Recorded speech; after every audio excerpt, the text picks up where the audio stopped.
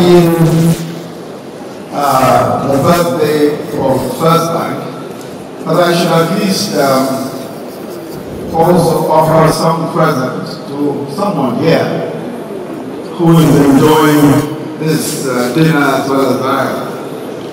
Uh, I want to ask if there is somebody who might, for a price, who might know uh, how or what is the what is the name that is given to the 125th anniversary?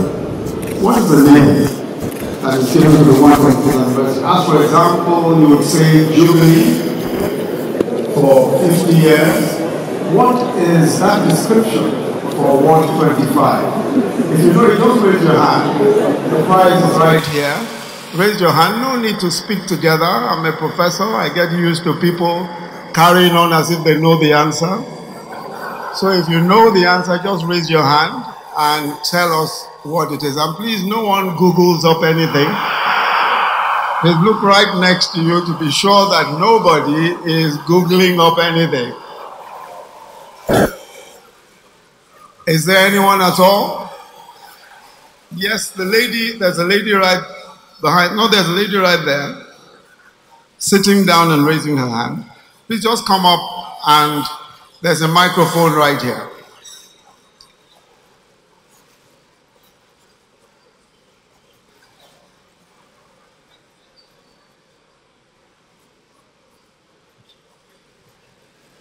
Your Excellency, it's I, I Quasi Central.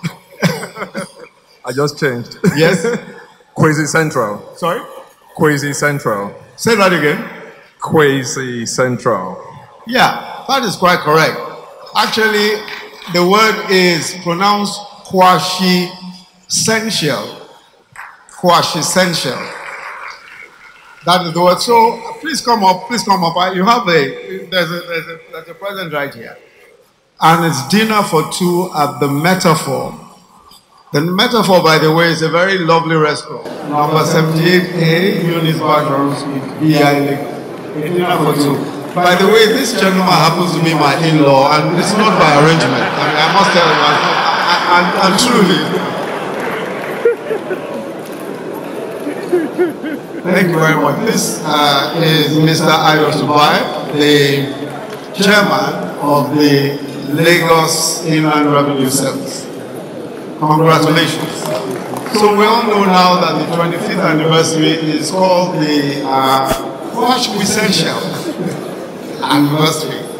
And uh, the, I think that at the, when we when we celebrate these kinds of very special anniversaries, there is a sense in which uh, the reflections must be different from the reflections when we celebrate the 30th, 40th, 50th, etc. But let me congratulate the board, management, and staff, past and present of First on this marvelous occasion of the 125th anniversary of the bank being Nigeria's premier and her largest bank for decades is certainly worthy of celebration.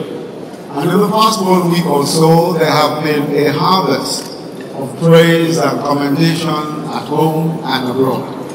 I've been reading a few of the tributes to First Bank, and these days I have a bit of time on my hands after uh, campaigning all over the place and waiting now for the inauguration. So I've been reading a few tributes. But perhaps the most intriguing for me was one written by my dear Egbon, uh, Mr. J.K. Randall, where he opened by saying, and I quote, that the combination of 1 plus 2 and 5, making 8, has significant implications amongst magicians, amongst tarot card readers, amongst fortune tellers, snake charmers, and Pentecostal preachers of prosperity who insist that it is supercharged with spiritual dimensions. Regardless, he goes on to say, we must abandon metaphysics and concentrate instead on heartily congratulating our nation's oldest life on its 125th anniversary. End but I, I disagree with him slightly.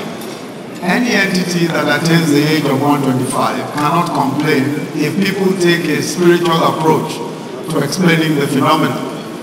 How many anything lasts 100 years, let alone 125 years? So let me add mine to it. For me, there are at least three takeaways from the first bank odyssey. The first is the place of grace, which we describe as unmerited favor in the life of any human or institution. That factor cannot be explained by administrative acumen or just financial prudence or good business practices alone. It's important because so many old banks, well established, well run, all over the world have failed, even in old age. And many here will remember Lehman Brothers, Bear Stearns, Baring Brothers in the UK, etc. And the number that have collapsed in here, in living memory. And the collapse of some of them is purely, is not uh, necessarily due to just mismanagement. In any event, who is to say which error of judgment can become so fatal? So there is something to be said about grace, about providence, about the hand of God. And I believe that there is reason for First Bank to thank God for the hand of God in their story. The second is that, is that the status of being an icon comes with responsibility.